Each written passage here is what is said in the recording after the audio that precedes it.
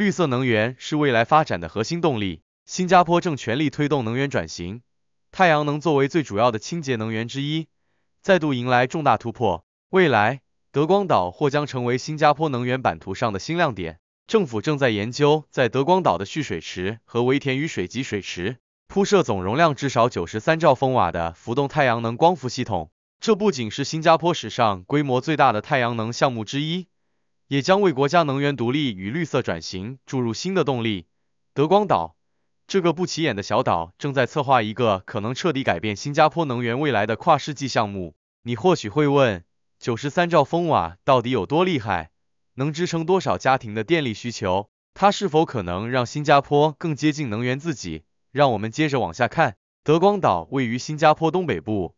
过去主要作为国防和水利管理的重要区域，如今它将迎来全新的战略角色。国防部与公用事业局联合确认，他们正计划展开可行性研究，评估在德光岛蓄水池和即将完工的围田雨水集水池上建设浮动太阳能光伏系统的可行性。根据规划，整个系统的总装机容量将至少达到九十三兆风瓦，这意味着一旦建成，德光岛的太阳能发电量将大幅增加。有助于满足新加坡未来不断增长的能源需求，也能进一步降低对进口能源的依赖。根据初步估算，整个工程预计耗时长达七十五个月，也就是超过六年才能全面完成。这个时间框架涵盖从可行性研究到设计与施工，再到最终投入运作的全过程。首阶段的可行性研究预计在九个月内完成。这一阶段将全面探讨设计概念、装机容量最大化的可能性。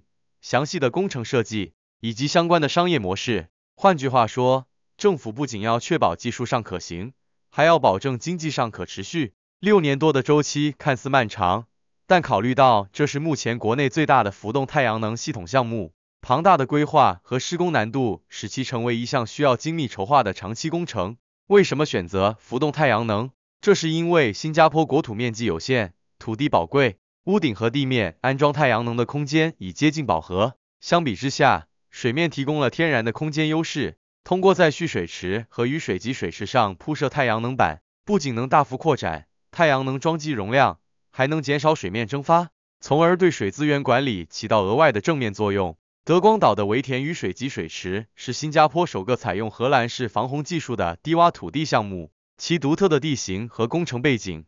为大规模浮动太阳能设施的安装提供了极佳的条件。这种双重功能的设计，正是新加坡能源与环境管理相结合的创新体现。新加坡政府一直积极推动绿色能源，目标是在二零三零年之前将太阳能发电能力提高到两吉瓦峰值，足以满足全国约三十五万户家庭的用电需求。德光岛项目的九十三兆风瓦贡献，虽只是整体目标中的一部分，但却具有战略意义。这不仅推动了国家能源结构的多元化，也有助于新加坡实现绿色可持续发展目标。它不仅是数字上的增长，更是技术、工程和政策协同的成果。通过这类项目，新加坡展示了如何在有限资源下，依然能走出一条绿色低碳的可持续发展之路。同时，这也将提升新加坡在区域能源合作和气候变化应对方面的国际地位，成为全球小国能源转型的成功范例。当项目建成后，它不仅仅是一座太阳能系统，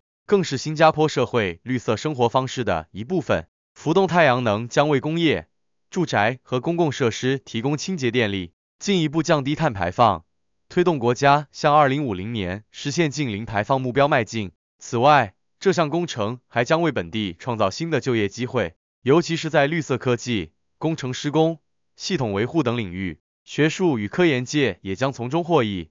他们能够在实际应用场景中测试新技术，推动本地科研成果走向商业化。更重要的是，它还能激发公众对清洁能源的关注与支持，形成全民参与的能源转型氛围。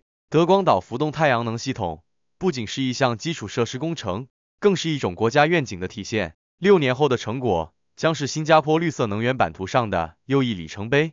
从能源安全到环保效益，从技术突破到社会价值。这个项目无疑是新加坡可持续发展道路上的重要一步。未来，当太阳能板铺满德光岛水域时，它将成为新加坡绿色转型最醒目的标志之一。如果你喜欢这条视频，请为我们点赞、转发、分享给你的家人和朋友。在评论区分享你的观点吧。订阅我们的频道，打开小铃铛，我们下期视频再见。